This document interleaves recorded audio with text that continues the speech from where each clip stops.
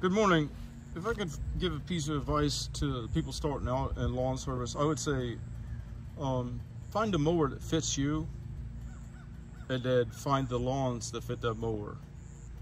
And then it's all rinse and repeat. A matter of establishing processes, curating a set of procedural safeguards, uh, and then the repeatability once you do it in that way is enhanced because then that mower platform you can buy redundancy. And then next i would learn that mower like nobody's business so that you know things that are wrong with it before the breakage. And you can notice when there's a skip on the hydros and know if it's paired to both sides so it might be the belt. Uh, just little nuanced things that you'll just acclimate to when you're running same machine, same machine, same machine. You can you can try to accommodate people and get two different size mowers and things like that. But from my long experience, that's a flex to show that you know I can dominate this market share or this region or this set of lawns but is it really worth it? Because now you got to buy a second machine redundancy and when we have parts issues then you know you have less of the rinse and repeat probability of being able to provide service to those customers. You have more of a demand on yourself and your business.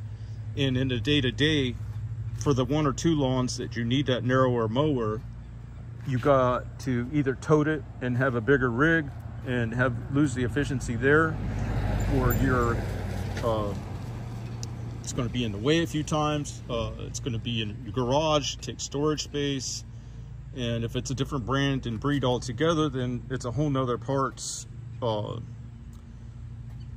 set that you'd have to have to support that machine so that you can stay there and for your customer.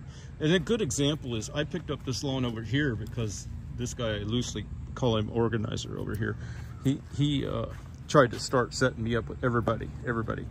Well, I, in the moment, I, I forgot an old lesson I'd learned. And I thought, well, I'll bring the 60 over. His gate was too small. I'm going to actually zero his his uh, entire year's worth of mowing invoice balance because I haven't been able to get back over here. I got too busy with the 60 to cut the back. And to me, he depended on me to mow it through the year and everything, and half a service is not a service. So he gets zero balance.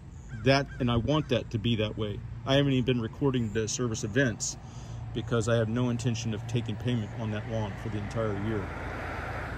And I want that hit. I want that to be a lesson I never forget next time. So the higher the consequence, the higher probability of retention of that perspective.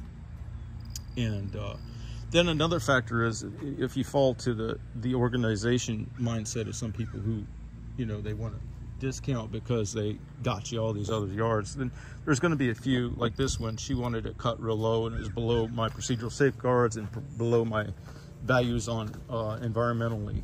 Um, so then that one didn't work out. And then the feedback loops from those negative experiences doesn't really bode well for longevity and word of mouth uh, market share. So or both. So you, so that's another factor. If you let that guy down because you can't get both mowers over here for whatever reason, then he's pissed, and that word of mouth travels. But when you set your mower up like this, where you have your equipment on board, and the way I've done it in general, um, I'm better off dropping ramps at each lawn and not having these sets. It's less impactful for me physically and it preserves this disconnect. I was a landlord for a long time and the worst experience that I had was on these door-by-door tenancies on an apartment complex. The, the talk back and forth and the comparisons and stuff. And that happened here. She was like, well, you mowed his lower, blah, blah, blah. You know, there are certain circumstances that are beyond the information set of most lawn customers. So all in all, I find it better to set yourself up where you don't need those sets. The inefficiency you have there uh, not worth it. If you mow them all and then you go do your stick line, you're going to be parked and you're going to have deadheading a lot. When you have it on board, you park the mower where you want to start your stick route and that's the most efficient. And you're not waiting for your stick man to get out of the way, or your stick man's not waiting for you to get your pass done, and the blower guy's not waiting for both of you to do your thing. It's just a fluid movement, and you stay in the equipment operator mindset because there's no disruption of that. If you can train your customers not to come out and blah, blah, blah. All right, y'all have a good day.